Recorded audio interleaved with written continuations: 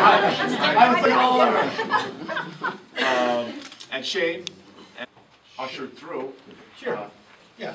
Uh, th- Thank you, and the reason we ran this bill is, I'm also on the Water Resource Review Committee. And we travel around the state during the summer, and uh, we were in the lower Ark Valley, and we were, I was talking to a, a farmer there by the name of Philip Chavez. And he has a large farm, and um, uh, he was telling me that because the Bureau of Reclamation uh, had decided that he could not use uh,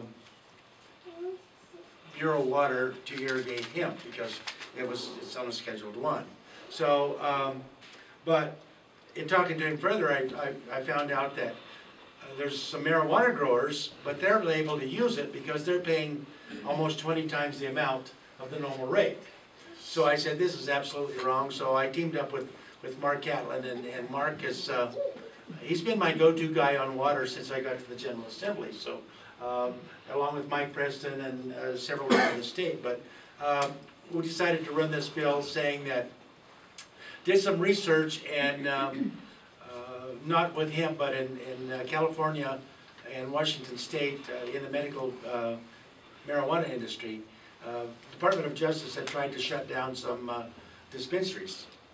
And so it, it went to court, and the Ninth Circuit Court of Appeals uh, ruled that uh, as long as it's uh, approved by the voters of the state and is not uh, breaking any state laws, the Department of Justice has no standing. So we kind of took that stand. We took uh, the Farm Bill, uh, under Title 35 of the Farm Bill, that it is recognized as an agricultural crop. We had some pushback um, from uh, Colorado Water Congress, uh, Farm Bureau.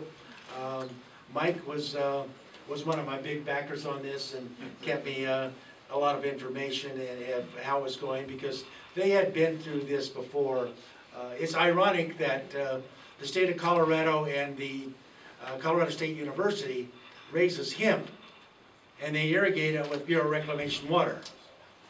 So why do you want to cut a guy in, in uh, Rocky Ford, Colorado off the water? So that was the, the basis of the bill, and uh, uh, against all odds, it came, uh, it came out uh, uh, ninety-nine to one with the opposition that we had on it even, so I think it's a great bill. I think hemp has a great future in Colorado.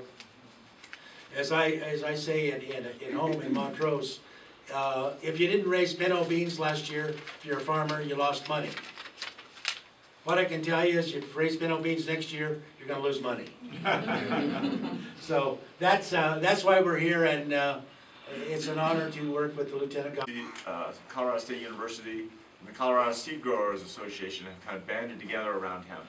And that last year, in Colorado, we had fifty-eight hundred acres under cultivation, which is roughly half the. Now, until I sign this, it's not a law. Right now, it's just these guys have done a lot It's a of hard good work. idea, It's a good idea, that's what I say, it's a good idea.